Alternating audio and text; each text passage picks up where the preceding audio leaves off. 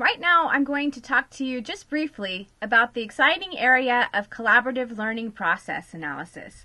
This is an area of text mining research in particular that is relevant for learning analytics, and it's an area in which my group does a lot of its work. In this short introduction, I'm going to motivate a theory driven approach. In my last lecture to you, I was talking about that uh, the M&M candy example. And this is where we're going to talk about what are the ideas or what's the foundation for deciding what it is about text that you want to preserve in the representation so that you can find meaningful patterns. And so, an important part of what I just want to give you a taste of is the connection between theories of learning, of social interaction, of language, uh, how we present ourselves through language, and computational modeling.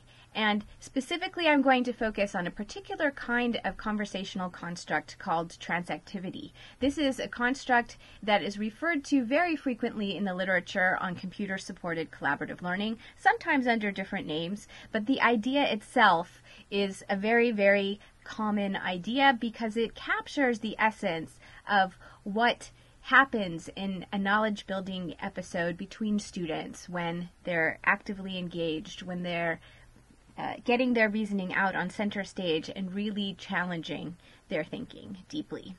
Now, I will really just be able to scratch the surface in this short lecture, but I want to point you to a chapter from the recently published International Handbook of Collaborative Learning. You'll see the uh, reference down there on the slide, and this particular chapter talks a lot about this framework and talks about the ideas that I'll be discussing in this lecture in much more depth. So that would be a really great place to dig a little bit deeper if you're interested. So I want to start out by convincing you that there's research that points in the direction of approaching text mining in a learning analytics setting the way that I am going to try to convince you of in, in this short lecture and really in this unit as a whole. And if you see here, you'll see kind of low level, easy to get indicators of conversational quality that you'll find in a lot of published work on learning analytics um, as a, applied to conversational interactions. And you can see these things even in my old work in tutorial dialogue, where what we were trying to do is be able to figure out what was it about uh, conversational interactions between tutors and students that made those encounters valuable for learning. We wanted to know that because we wanted to build tutoring agents that would be effective at eliciting learning. And um, we started with these very simple to get indicators and uh, we published papers about them and in individual studies we could find sometimes that these indicators did correlate with learning outcomes and then we would think of reasons why it made sense that we would see these patterns, and we talked about those in our papers. But the discouraging thing was that if we compared across different studies, the things that correlated significantly with learning were not consistent. Sometimes it would be one thing, sometimes another thing. And in an individual study, it was always possible to justify why it is that we were seeing the pattern that we were seeing. But ultimately, looking at all of this research over years, we came to the conclusion that these features might correlate with what's important in some particular context, but they're not really what characterizes what's valuable for learning in a conversation. Now, some of that research you can find in the first journal article that's cited down there at the bottom of your screen. This was a cognitive science article that uh, talks about, you know, a several year effort, about six or seven year effort of investigation in the area of tutorial dialogue, where we started with the idea that what was really important in these um, encounters is that they be intensely interactive, and where we characterized what it meant to be intensely interactive in a kind of shallow way, along the line of some of these indicators you see listed on this slide, like turn length, conversation length, number of student questions, student to tutor ratio, etc. Um, and, and, and in the end, we came to the conclusion that this wasn't where the action was at, that there was something more related to the cognitive processes that are associated with learning that we needed to be able to capture in these conversational interactions. The journal article cited below that is uh, it comes from work that I did collaboratively collaboratively with Frank Fischer's group at uh, the University of Munich. And in our collaboration, we built on a framework that was developed within his group, um, starting with the dissertation research of Armin Weinberger. And in that research, they drew from several different theories of collaborative learning and operationalized them in terms of patterns of conversational behaviors so that they would be able to measure the quality of collaborative interactions and try to associate those constructs with learning. And this idea of transactivity that I mentioned, that's going to be an important focus of this particular short lecture, uh, is one that was associated strongly with one of their particular dimensions uh, called Social Modes of Co-Construction in their work. And in this journal article, you can see how we built on the idea of the social modes of co-construction in our design of the feature space. And that brings us to the idea of the connection between theory and computation, where we start with the theory of learning, we operationalize it in terms of properties of conversational interactions, and then we use that understanding to motivate the kinds of features that we use in machine learning. So here's just a way of making that just a little bit more formal. It all starts in the field of psychology, where we can characterize through theories of cognition, through theories of social interaction, through theories of collaborative learning, what are those processes that are associated with learning that we want to be able to capture? Or even just those supportive processes of interaction that create the environment in which the, those um, processes of cognition can occur the way they need to in order for learning to take place. Layered on top of that understanding is what we get from the field of sociolinguistics. And, and here I mean that very broadly, where I'm drawing in not just what would uh, specifically identify itself as sociolinguistics research, but also discourse analysis and some work in text mining and uh, other areas of linguistics that touch upon language, even uh, social psychology. And in that work, you can see um, where the focus is on what conversational interactions look like, reference to these basic psychological processes and how they're reflected through language.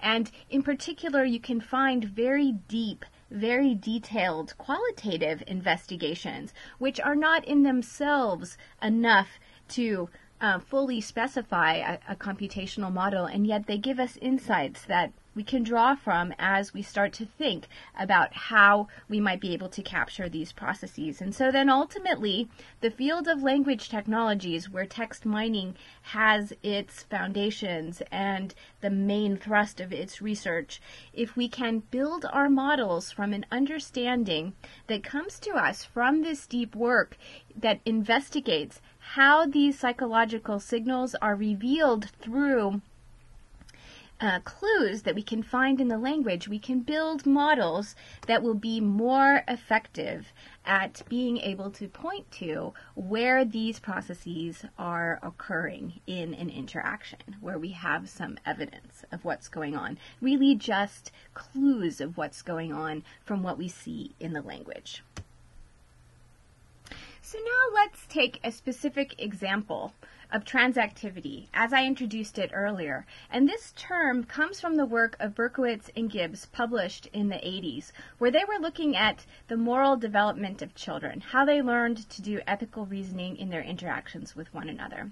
And they had a rather sophisticated characterization of transactivity, um, where they had about 18 different kinds of transacts that they looked at in their work. But if you boil it down to the simplest cross-cutting essence, what is a transact? Transactive contribution at all.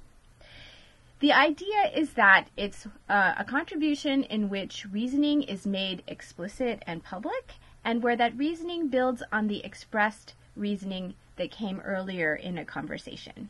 And you see here an example where one student is talking about a cell model They're saying that they think that this tube in a cell model will get heavier over time because water will be coming in through a, mem- a, membrane. And the second student is building transactively on that student's statement, saying, that's true, but the important point is that water can flow in, but starch can't flow out. So it elaborates the idea, it builds on and acknowledges that idea, and it's making that student's thinking and reasoning explicit. It's showing a mechanism. It's a little tricky, actually, to characterize what it means to make reasoning uh, public and explicit, but uh, that would require a much longer lecture to get into uh, in any kind of detail. But this idea of transactivity, let's think about how it has been developed over time in research. It started out in Piaget's research in the 60s, where he was investigating the, the connection between power and cognitive conflict in learning. And there he wasn't even specifically, in most cases, looking at how conversational interactions play out. And yet, there was this idea that uh, an interaction is taking place between the learner and something in the environment. It could be an object or it could be another learner. 20 years later is where Berkowitz and Gibbs' idea came along. And there, there was this idea that builds on Piaget's idea. Piaget talked about cognitive conflict. That was where a learner, because of their interactions with something in the environment, comes to understand that there's something wrong with their mental model. In sociocognitive conflict, we see in the interaction between two individuals evidence that they're coming to that understanding or that one in, one of those um, people in that interaction is coming to a, a point of cognitive conflict. Now, it's interesting that Berkowitz and Gibbs started to tie the connection between transactive contributions and sociocognitive conflict. And later, the idea of power balance, which comes from Piaget's original idea of, of, of cognitive conflict and learning, um, is connected now in, in this Kruger and Tomasello work with power balance. It's transactivity and power balance. And so they, they talk about how it is that there's a, this power balance that's associated with increased um, prevalence of transactivity. And it makes sense because in Piaget's theory, if there's a power balance between an individual and what they're interacting with, in other words, if they take their own reasoning seriously, but they also take the feedback that they're getting from the environment seriously, where these two things are in balance, they're much more likely to experience a cognitive conflict if they come in contact with something in their feedback that doesn't match their mental model. And so then building on that, Azmitia and Montgomery and their work in the 90s started to look at the idea of friendship and how friend pairs, when they collaborate together, have a higher incidence of transactivity. And you can predict that from the Kruger and Tomasello work because within a friendship, you expect to have this kind of power balance that would be conducive to these cognitive conflicts occurring. And so then it's not surprising that you would see that in friend pairs you would have a higher incidence of transactivity, and to the extent that transactivity promotes learning, more learning. Now, in our work on transactivity, we have done analyses, as have other researchers, on how this construct, the prevalence of this construct correlates with learning within interactions. And whereas before I talked about the fact that some of these low level indicators were not such reliable uh, indicators of learning across studies. We find much more e- evidence of generalizability with the construct of transactivity, which has its deeper roots in theories of learning. We see, for example, uh, research, and some of it is cited here, about a moderating effect on learning of transactivity. We also see a moderating effect on knowledge sharing in working groups.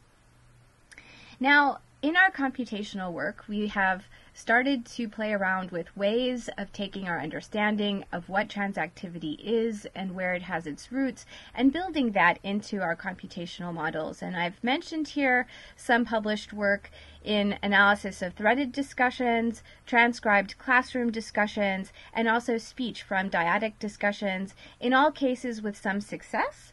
And um, you'll see the full references to this work at the end of this talk, so you can dig in and read more about it if you're interested. In all cases, you can see evidence that uh, drawing ideas for feature engineering from the theory promotes um, good accuracy. Okay, so what are the takeaways from this very, very short, brief introduction? Well, um, what we see is that shallow approaches to analysis of discussion data are limited in their generality. And a theory driven approach is more effective. It's more effective in terms of giving us a construct that has a more generalizable um, representation in the data that we have, but it's also very effective for motivating the development of our models from a technical standpoint. So in the remainder of this text unit, we'll help you start to go down this path of taking the more theory-driven approach. Again, I want to draw your attention to this chapter from the International Handbook of Collaborative Learning, where you can get more into the same story that I was trying to convey in um, this short lecture. Uh, you know, and you can take your time and uh, chew over it, it with more details. So um, here are some of the articles that I cited in this uh, lecture, and you have the full references here uh, and also on this next slide, so you can follow up on these if you're interested, and they will give you more detail uh, for taking some next steps. And as I've said, please drop me a line if you're interested at the email address that you see on this slide. And of course, please continue to use those help affordances like the Quick Helper and the discussion forums um, and interact with your fellow students to really take advantage of the opportunity to digest this in a deeper way.